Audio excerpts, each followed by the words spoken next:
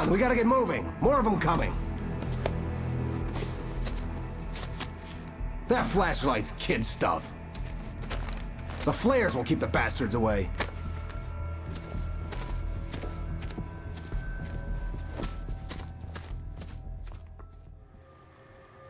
You can see them too?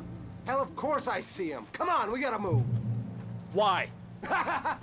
because that's the way the story goes. Yeah, but Let's move! I lost my gun back there. Oh, I've got a gun. Just keep that light steady on him. It took a moment, but then I recognized him. He'd been on the ferry when I first arrived here with Alice. He knew my name. We were headed in the direction of Lover's Peak. There was no way this was a coincidence. He was the kidnapper. Come on, Wake! You better keep up.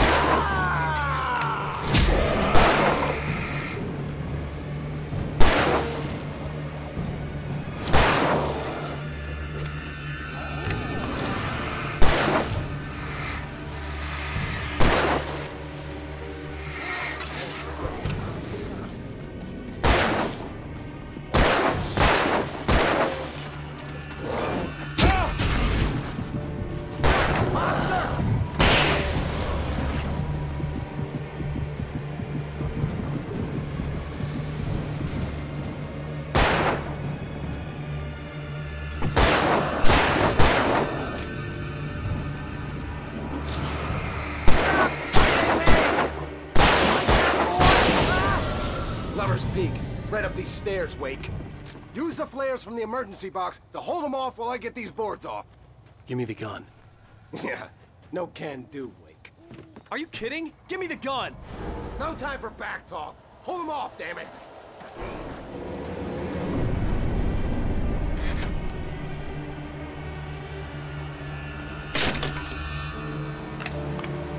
Just a little longer. Scare them off. Some light on those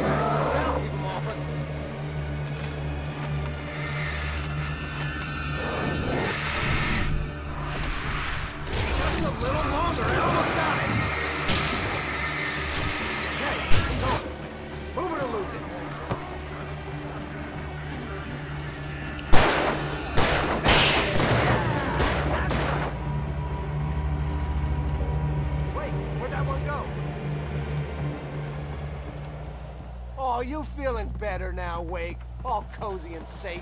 Better get ready. They'll be on us soon.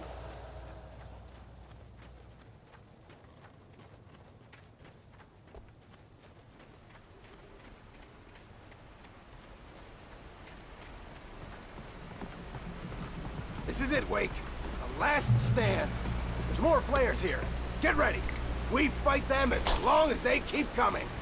Give me the goddamn gun! They're coming! That's not how this goes. Get with the program, Wake.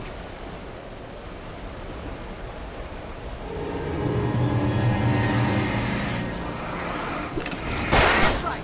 You just keep coming.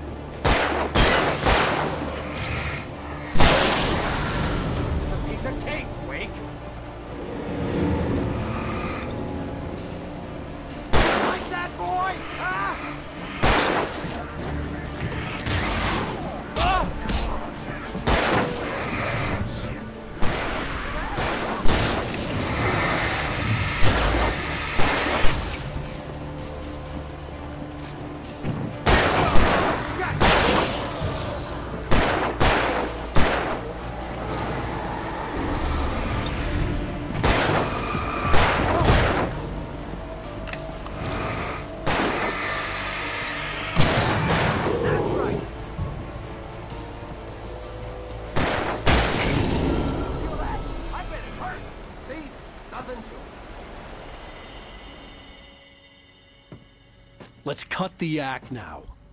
Where's my wife? I knew you were gonna say that. I read it all before. You're a hell of a writer. Congratulations.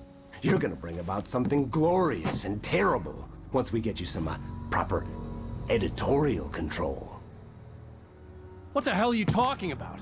Where's Alice? I want the entire manuscript, or she's gonna suffer bad. You touch her up.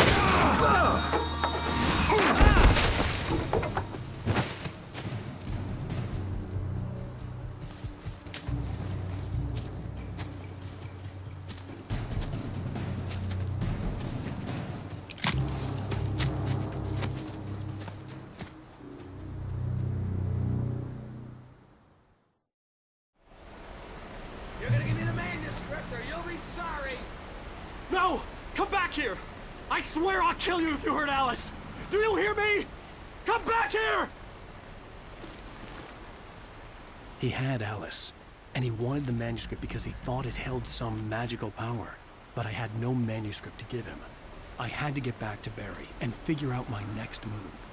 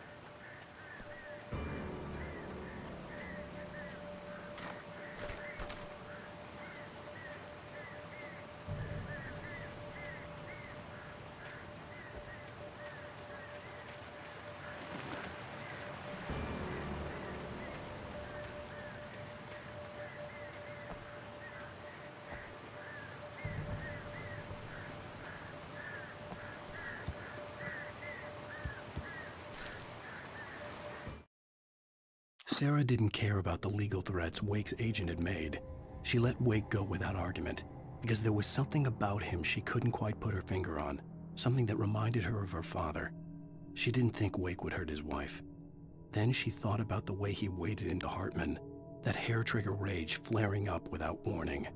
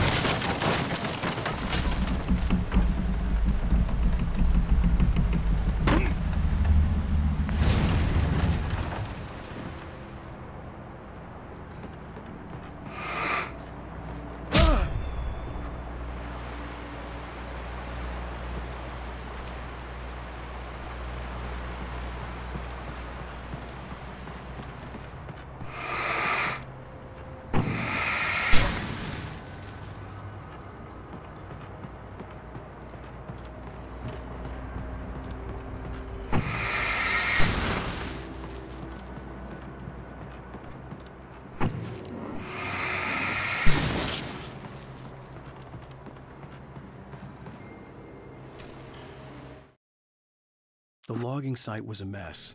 The modular office had been pushed off the cliff. Deputy Thornton climbed up from the wreckage excited, breathing hard from the exertion. Nobody there. It's weird. Don't you think that's weird? Bored, Mulligan let out a mighty snort. Hell, it's always weird, Thornton. Just a question of sorting out what kind of weird it is this time around.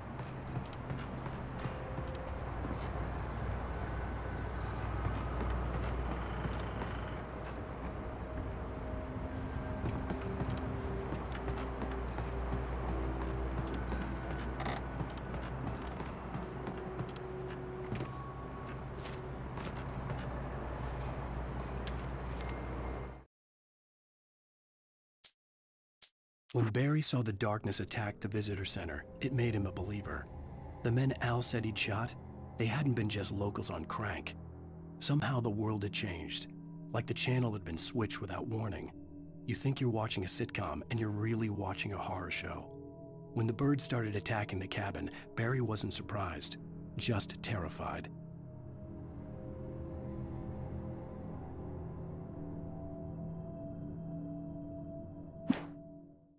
The night had been one desperate situation after another. I was exhausted, and my body felt as though it had been chewed up and spat out. The flashlight was heavy in my hand, and each pull of the trigger sent a painful shock up my arm.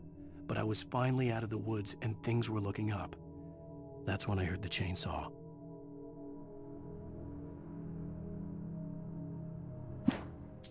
On more than one occasion, Alice had tried to explain to me how it felt to be afraid of the dark. To her, darkness wasn't simply the absence of light, but something more tangible than that. It was something you could touch and feel. Worse than that, it was something with a mind of its own, something malicious and malign. For her, things changed when they were wrapped.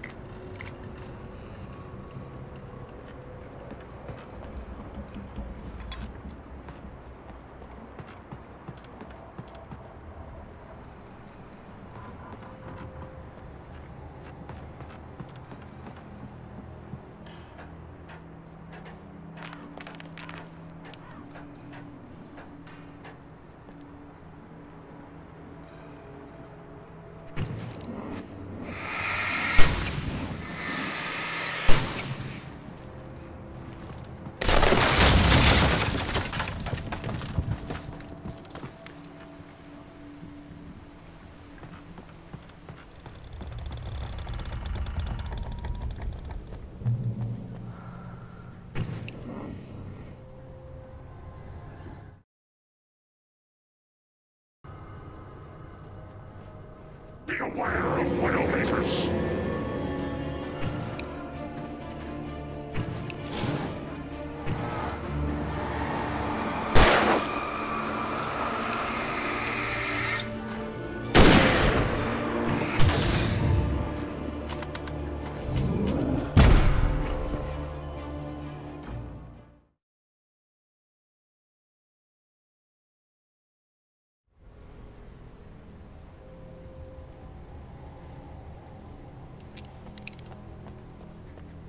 Be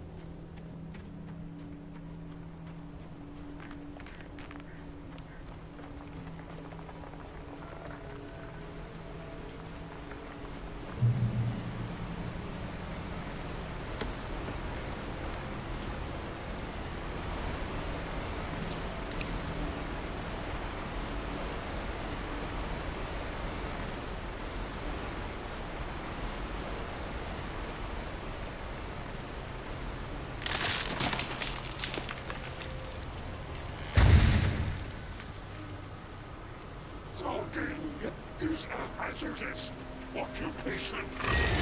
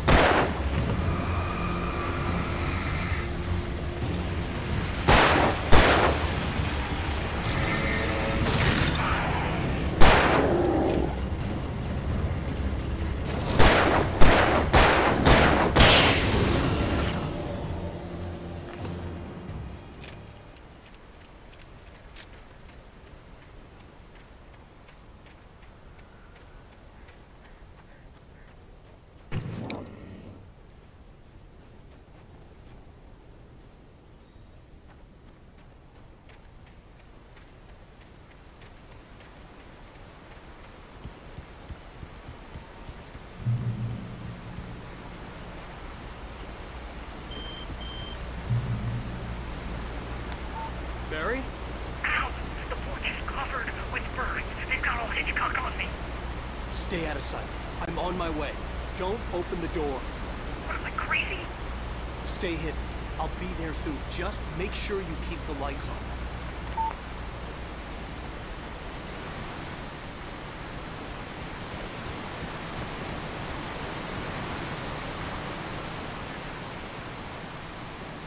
I still had to reach Barry at the cabin, but at least I was out of the woods.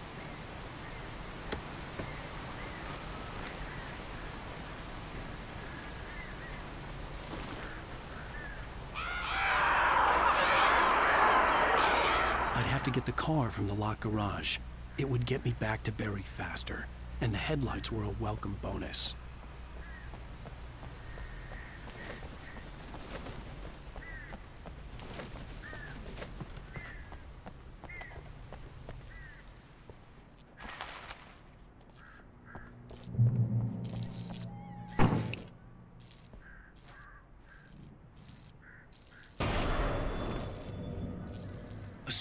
Not a machine that does what you tell it. A story is a beast with a life of its own. You can create it, shape it, but as the story grows, it starts wanting things of its own.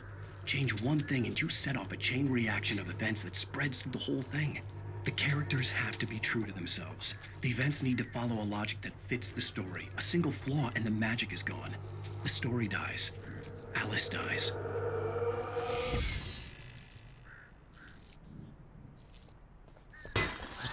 Can learn about nature and yourself.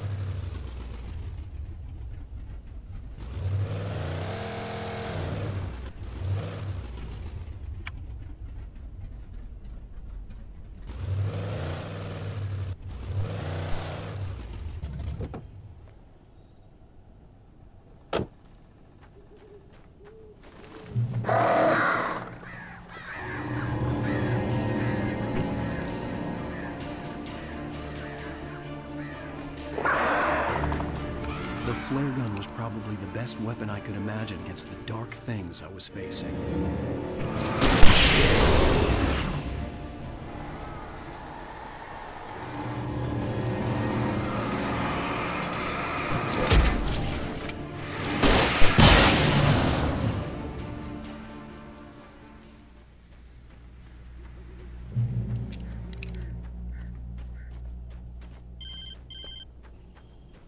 It was the kidnapper. You son of a bitch! Where's my wife? Enough horseplay, Wake. You deliver the manuscript, and you can have your woman back. Simple as that. I don't... Listen. Listen. I'm gonna need time to finish it. I still need to write the ending. I need... a week. It's not done. I need a week. Two days. The old Bright Falls coal mine is nearby. You can find it easy, city boy. The main building, there at noon. You bring the manuscript, you'll get your wife. If not, well, uh, get me. Yes, yes, I, I get you.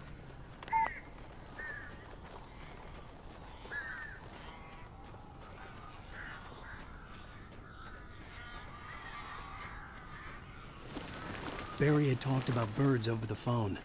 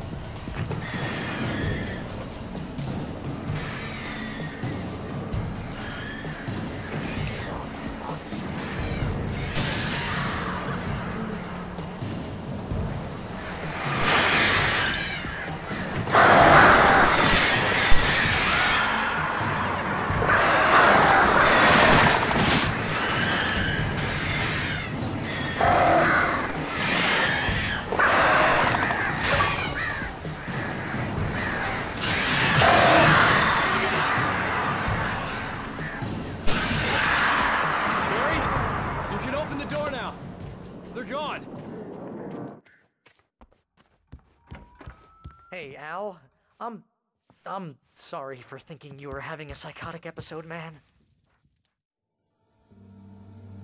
I sent Barry to the town to ask around about a man fitting the kidnapper's description. He'd go through the archives of the local paper. Perhaps he could learn something. Anything about the island and the cabin that had disappeared. The man wanted a manuscript. I had to try to write him one to get Alice back.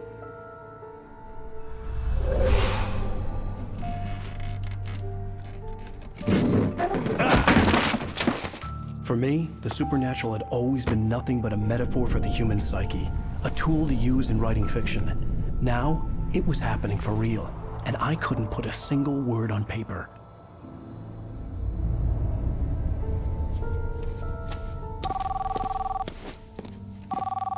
Barry Wheeler speaking. This is Rose. Rose? I found Mr. Wake's pages. Oh, you sweet, brilliant girl. Could you and Mr. Wake come get them? I live in the trailer park outside the town. We'll be there in less than an hour. Bye now. See you soon. Have a great day. Hope you come back soon. Welcome, to, the, Oh old Deer Diner. Good girl.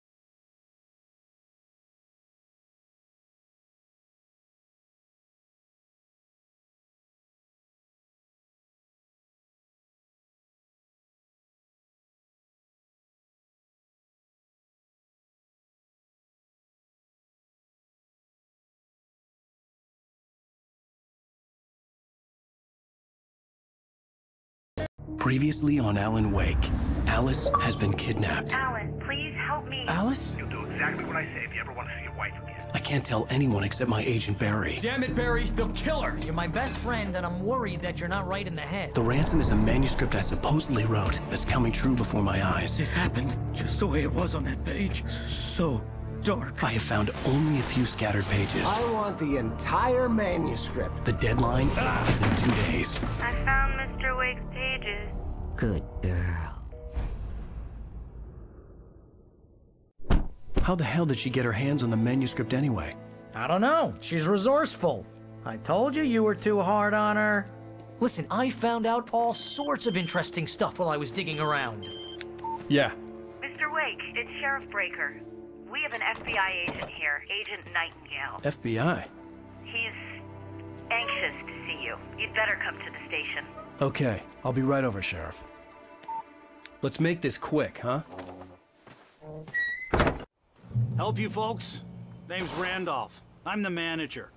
We're looking for Rose. Works as a waitress down at the diner. Rose, sure. Nice girl. Who wants to know?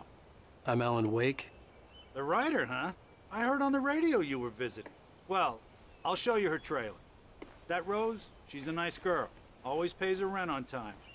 As I was saying, Al, I found all sorts of weird stuff from the local newspaper's archives. This place is crazy. Disappearances, mysterious deaths, urban legends come true, and get this most of this stuff takes place around Cauldron Lake. Well, you ain't wrong, mister. The Indians thought the lake was a doorway to the underworld. I'm the God-fearing type myself. I, I don't hold with that sort of thing. Yeah, okay. Anyway, there was an island there owned by a guy called Thomas Zane. Now, some of the articles I found about him make him out to be a famous writer, but I ran a bunch of searches, couldn't find a single thing he wrote. Zane was heavily into diving, so much so that the place came to be called Diver's Isle. But the volcano under the lake erupted in 1970, and Zane went down with the island.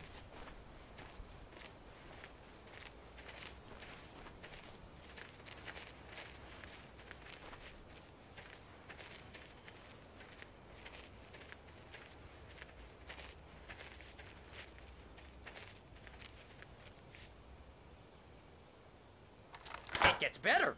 A local girl, Barbara Jagger, drowned in Cauldron Lake just a week earlier. They were lovers. Sure, Jagger's a local spook story. The scratching hag.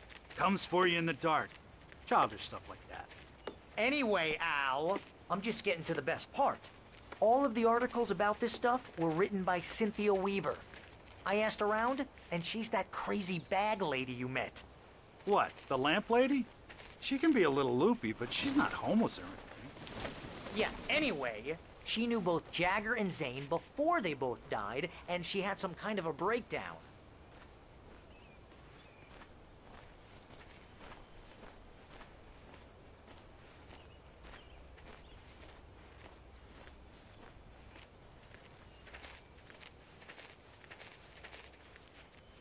Well, mister, this here's Rose's trailer.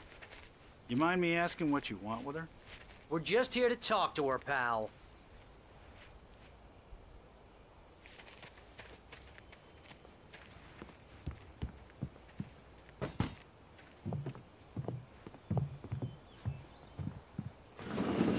Welcome to.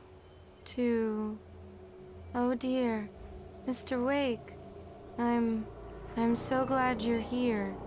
Rose, you have my manuscript? Oh. Oh, yes.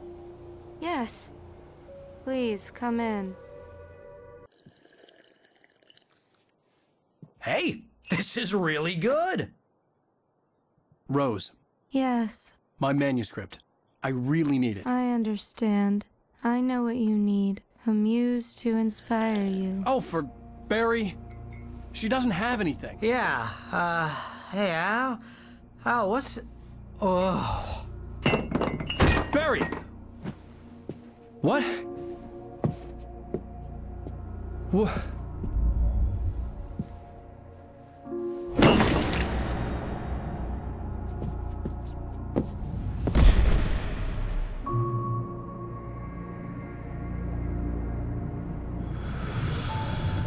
It's coming for you, hiding in my Barbara's skin.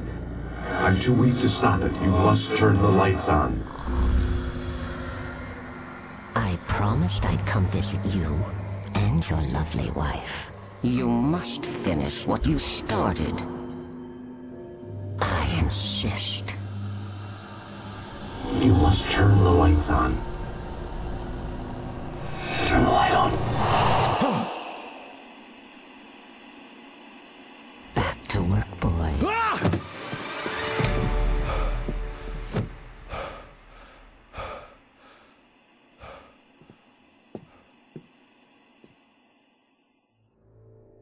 Felt nauseous, hungover. Only anger kept me going.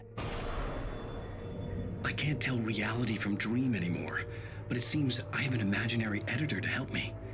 She's an old woman in a funeral dress. I call her Barbara Jagger. She's very strict. I- I'm writing faster and faster. My manuscript is being heavily revised.